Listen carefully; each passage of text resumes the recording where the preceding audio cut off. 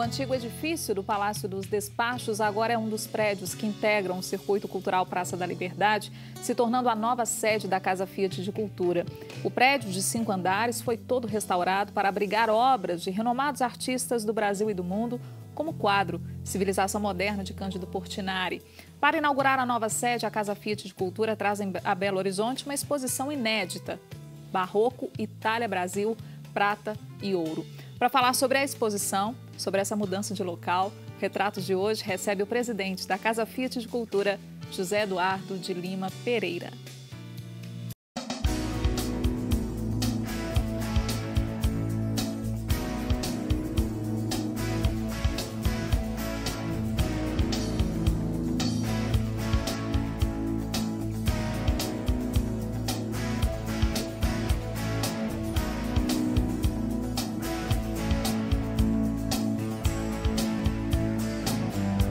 Zé Eduardo, é um prazer tê-lo aqui no programa Retratos. Prazer é todo meu. Para falar sobre a Casa Fiat de Cultura, tantas exposições interessantes que temos né, acompanhado aqui em Belo Horizonte. Já temos história, né? História, exatamente. São quantos anos de história São já? São oito anos de história com algumas interrupções. Sim. Interrupções sempre voltadas para o aprimoramento. A última interrupção foi essa recente, de cerca de dois anos, quase dois anos, em que nos preparamos para mudarmos do antigo antigo local no Belvedere, agora para o Palácio de Despacho, na Praça da Liberdade. Que é um espaço simbólico demais aqui para a nossa Belo Horizonte. Né? É um prédio que faz parte ali da, da, do Circuito Cultural Praça da Liberdade, que tem uma história muito grande, e agora é, a Casa Fiat passa né, a fazer parte desse circuito e trazendo um pouco dessa, integrando a cultura dessa região centro-sul né, de Belo dúvida. Horizonte. Integrado com o circuito cultural da Praça da Liberdade, e você disse muito bem, é um prédio simbólico para todos os belo-horizontinos, para todos os mineiros, mas isso você não sabe.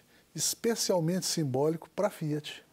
Porque a Fiat, implantada em Minas Gerais, nasceu naquele prédio. É mesmo. No dia 14 de março de 1973, foi ali, naquele prédio, no seu terceiro andar, em que o presidente da Fiat Mundial na época, Gianni Agnelli, que faleceu há alguns anos, assinou com o então governador de Minas, Rondão Pacheco, um documento chamado Acordo de Comunhão de Interesses para estabelecimento de uma indústria automotiva em Minas Gerais. E foi esse acordo entre o Estado e a Fiat que propiciou a criação da empresa e do grupo no Brasil. Então, um simbolismo ainda bem mais forte, ou seja, para a própria Fiat. Através da Casa Fiat Cultura, a Fiat voltou à sua origem em uhum. Minas Gerais, no Brasil. Uhum. Você estava presente lá eu na estava presente. Né? Existe um retrato muito bonito. eu estava por trás da câmera do fotógrafo.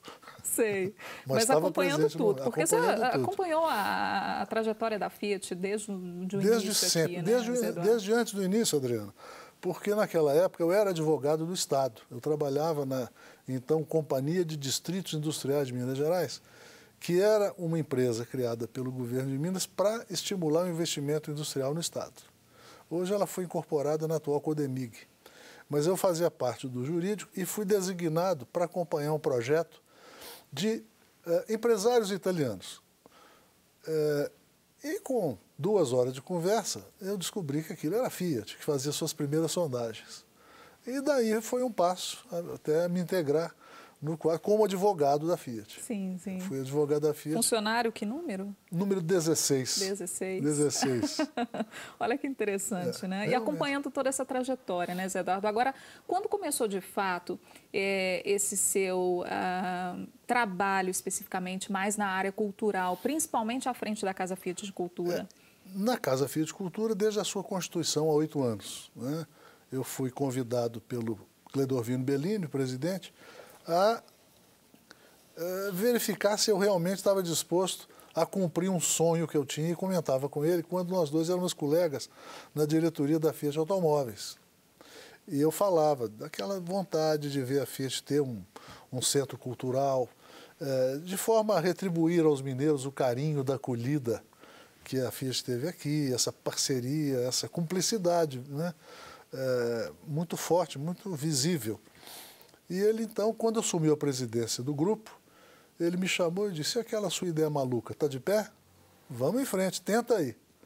E foi então que nós ocupamos um prédio lá no Belvedere, que era de propriedade da Fiat, mas não tinha uma destinação clara, específica. E eu olhava aquilo, falei, não dá para fazer em outro lugar? Não, tem que ser aproveitando o que a gente tem. E naquela época, no início, a Fiat queria ver de que, que eu era capaz Sim. nesse campo. Então eu tive que conseguir, imagina, que coisa mais patética, procurar entre jovens e, e promissores arquitetos de Belo Horizonte aquele que fosse talentoso, trabalhador, que se prontificasse a fazer um projeto de graça. De graça. Claro que fazendo um investimento para o futuro, com muita esperança, como felizmente acabou acontecendo. Mas então, dois arquitetos jovens, o Márcio França Batista de Oliveira e a Carol Arantes, se entusiasmaram com a ideia. Toparam desafio. E transformaram aquela ruína moderna na primeira sede da Casa Fiat. E era lindíssimo. Lindíssimo, maravilhosa. A única razão, Adriana, antecipando provavelmente uma pergunta sim, sim. sua, à vontade. a única razão de termos deixado o Belvedere e, e nos dirigido para a Praça da Liberdade foi buscar a proximidade do público. É. Até pela de... facilidade de deslocamento agora no Palácio dos Despachos. Sem né? dúvida. Você perto. imagina, 800 mil pessoas nos visitaram nas nossas atividades no Belvedere. E por ali ninguém trafega. Uhum. Essas pessoas se deslocaram de suas casas, de seus locais de trabalho, num número de 800 mil pessoas, para ver as nossas, as nossas exposições.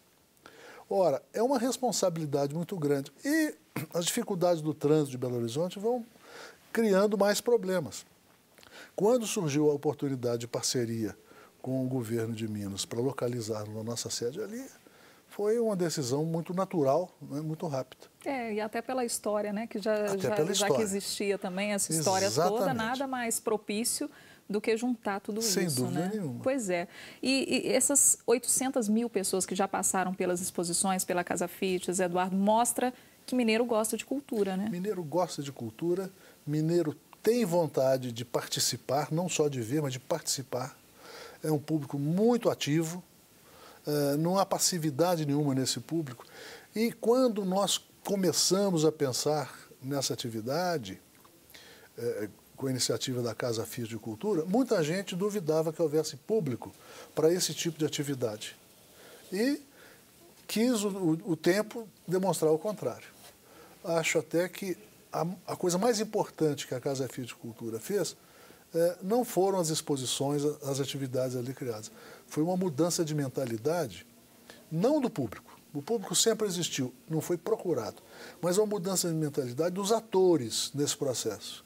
As pessoas perceberam que sim, Belo Horizonte é viável, é sequiosa de ação é, cultural de qualidade em todos os campos.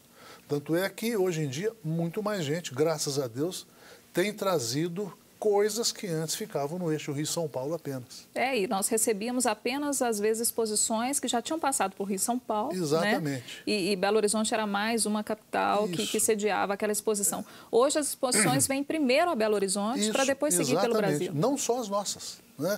Nós temos feito o contrário, nós temos com muita alegria levado o nosso trabalho, o trabalho de uma instituição mineira, para outras cidades do Brasil.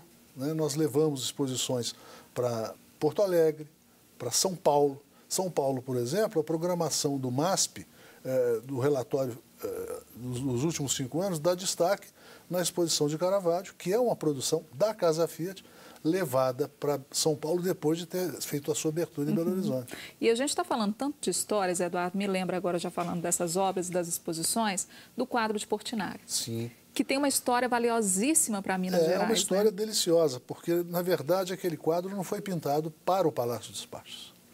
Muita gente acredita que sim, porque ele está lá desde sempre, desde 1967, mas, na verdade, foi uma encomenda feita ao Cândido Portinari pelo, pelo Banco do Estado de Minas Gerais, sucessor do Banco Hipotecário, que tinha uma sede aqui em Belo Horizonte, mas tinha uma agência muito importante, quase que uma subsede, no Rio de Janeiro. E então foi encomendado para lá. Depois, com as mudanças na, na, na administração do BEJ, ele foi trazido para Belo Horizonte. E o governador de então, Israel Pinheiro, não abriu mão. Esse painel representa a civilização mineira e eu o quero aqui na parede do, do Palácio de Despachos. Eu não consegui entrar em detalhes com o arquiteto que fez aquele projeto, que é o Luciano Amede Pereira, um projeto extraordinário.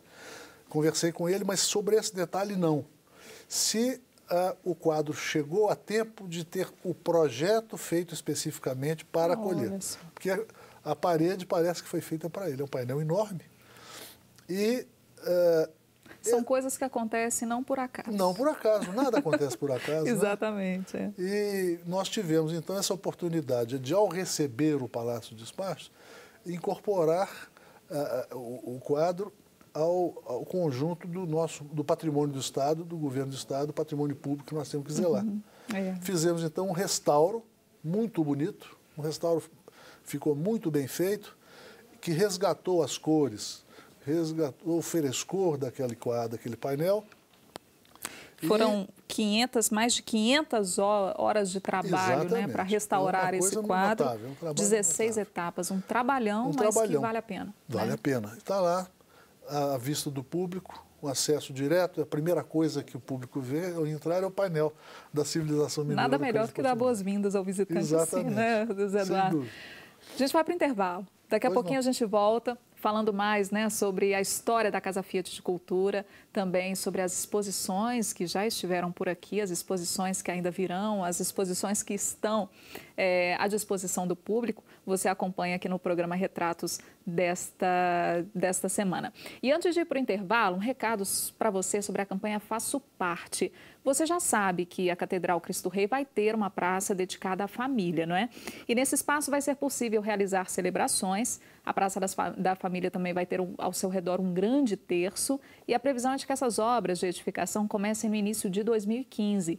Para fazer parte desse projeto, você pode ter o seu nome também dos seus familiares em uma das contas do terço das famílias. Para fazer parte do projeto é só ligar para o 3269-3100 ou acessar catedralcristoreibh.com.br. Você pode contribuir, fazer parte desse projeto também. Daqui a pouquinho a gente volta com o programa Retratos. Fique por aí.